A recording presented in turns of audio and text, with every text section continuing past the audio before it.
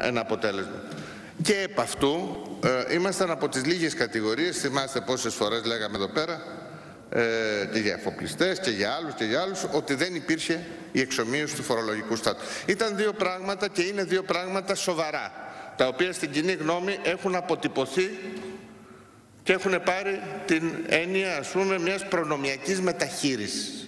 Έτσι. Διότι τα άλλα δεν τα αποδεχόμαστε. Δηλαδή το να έχει κανείς πέντε συνεργάτες που θα γίνουν μάλιστα τέσσερις από την επόμενη σύνοδο, δηλαδή στη δεύτερη σύνοδο με μείον ένα ε, αποσπασμένο και μάλιστα ε, εκπαιδευτικό από ό,τι έχει ε, προταθεί, ενώ από του χρόνου, ε, ή το να υπάρχουν ας πούμε, τα, ε, το θέμα με τα αυτοκίνητα, ας πούμε, το leasing και τα λοιπά που έχει γίνει, είναι θέματα τα οποία κατελάχιστο βοηθάνε πραγματικά και είναι σε όλα τα κοινοβούλια τη δουλειά του βουλευτή. Λέω όμως ότι ως προς αυτά υπήρχε πράγματι ένα αποτύπωμα αρνητικό στην κοινή γνώμη, το οποίο το θεραπεύουμε τώρα. Θέλω όμως να είμαι πάρα πολύ σαφής και αυτό πρέπει να γίνει γνωστό και είμαι σίγουρος ότι και αύριο θα προβληθεί. Το είπαν οι ηγητές, ε, εγώ θέλω να το επαναλάβω. Η μείωση στον βουλευτικό μισθό, εάν είχαμε ακολουθήσει το νόμο, έτσι, και ήταν αυτός που έπρεπε κατά νόμο, κατά το ψήφισμα τάδε που λέγατε κι εσείς ε, προηγούμενα, η μείωση είναι της τάξης του 38% στον βασικό και άμεσο. Διότι είναι 28% το ότι η Βουλή των Ελλήνων με απόφαση της δύο φορές δεν παρακολούθησε την ανάκτηση των μισθολογικών απολειών που είχαν οι δικαστές και ο πρόεδρος του Αρίου Πάγου οι οποίοι ας πούμε μέσω ε, κρίσης και μέσω του μισθοδικίου ε, ας πούμε και τα λοιπά και σωστά για την δικιά τους την πλευρά ή και για άλλες πλευρές που για θέματα συντάξεων και τα λοιπά γνωμοδότησαν όπως γνωμοδότησαν. Τότε ο βουλευτικός μισθός δεν ακολούθησε.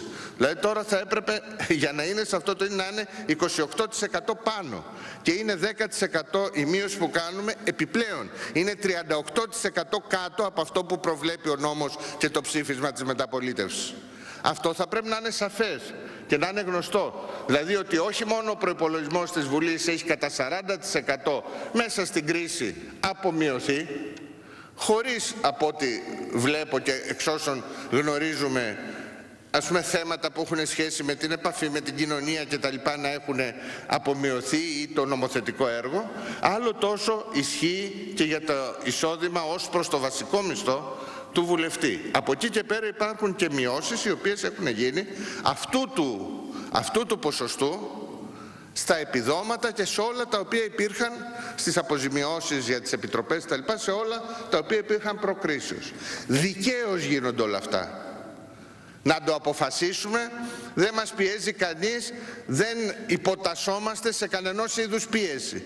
Αλλά ταυτόχρονα πιστεύω ότι πρέπει με πολύ μεγάλη σαφήνεια να υπερασπίσουμε την κοινοβουλευτική δημοκρατία και τη λειτουργία των βουλευτών και των κομμάτων ως τέτοια μέσα στο ε, σύνολο. Δεν αναφέρομαι καθόλου στο πώς κόμματα της Βουλής, παραδείγματος χάρη το ΚΚΕ περισσότερο από όλους εξ όσων φαίνεται, ο ΣΥΡΙΖΑ επίσης πολλοί και άλλα κόμματα και άλλοι βουλευτές ενισχύουν τα κόμματά τους έτσι, με ποσοστά που ξεκινάνε από 5-10% και φτάνουν μέχρι 40, 50 ή και παραπάνω ε, της Διότι αυτό, επιτρέψτε μου να πω, δεν αφορά την κοινωνία. Αλλά είναι υπαρκτό ο ζήτημα. Και τα κόμματα έρχονται στη Βουλή, δεν έρχονται περσόνες, δεν έρχονται πρόσωπα της κοινωνίας γενικώς που έχουν κάνει μια καριέρα και τι ωραία να φέρουμε τα πρόσωπα. Αυτά θα ήταν κόμμα ΑΕ και, βουλία, και Βουλή ΑΕ. Δεν είναι έτσι. Το Σύνταγμά μας είναι σαφές. Η Βουλή συνίσταται από κόμματα τα οποία έρχονται με το πρόγραμμά τους, με το καταστατικό τους, με τις υποχρεώσεις όσων βγαίνουν βουλευτές. Άρα η πραγματική κατάσταση και του βουλευτή θα πρέπει να είναι γνωστή στην κοινωνία, δηλαδή πραγματική εισοδηματική κατάσταση. Και από εκεί και πέρα η κοινωνία να έχει την απέτηση για πλήρη διαφάνεια για ανάρτηση, για λειτουργία ακόμα και του πόθεν, ας πούμε στο, ε, στο έσχες, για σταμάτημα της διαπλοκής του πολιτικού χρήματος, όλα αυτά τα οποία έχουν οδηγήσει πραγματικά σε ένα βαθμό και σε αυτή την ε, πολιτική αναξιοπιστία. Κυρίες και κύριοι συνάδελφοι, με συγχωρείτε που μακρηγόρησα, ε, πάνω σε όλο τον προϋπολογισμό υπάρχει το αποτύπωμα μιας προσπάθειας ανοίγματος στην κοινωνία. Δηλαδή πέραν της απομείωσης των δαπανών ή της εξοικονόμησης σε σχέση ας πούμε, με μισθώματα και άλλα που αναφέρθηκαν ενδελεχώς οι κύριοι κύριοι συγητές και η κυρία, κυρία Βούλτεψη. Ε, υπάρχει, δηλαδή προσπαθούμε και από αυτού χρειάζεται να κάνουμε και ιδιαίτερη και θα κάνουμε περαιτέρω συζήτηση στην αρμόδια επιτροπή της Βουλής να βοηθηθεί η Βουλή ώστε να είναι όσο πιο ανοιχτή γίνεται στην κοινωνία. Στις δημιουργικές της δυνάμεις, στις πνευματικές της δυνάμεις, στις εκδόσεις, στις εκδηλώσεις, στην ε, βοήθεια και την ε, επικουρία για να θεραπευτούν πράγματα τα οποία σκάνε ας πούμε σαν το είχα πει και την άλλη φορά όπως τώρα το προσφυγικό ή άλλα κτλ.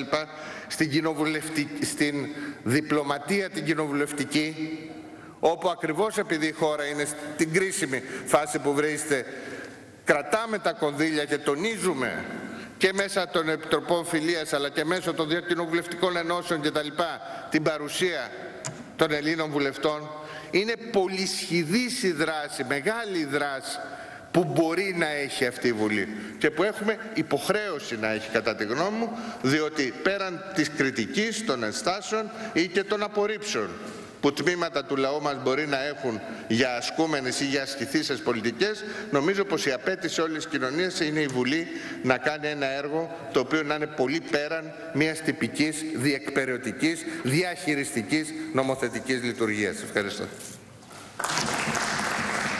Ευχαριστούμε τον ε, πρόεδρο της Βουλής, τον κύριο Ιωάννη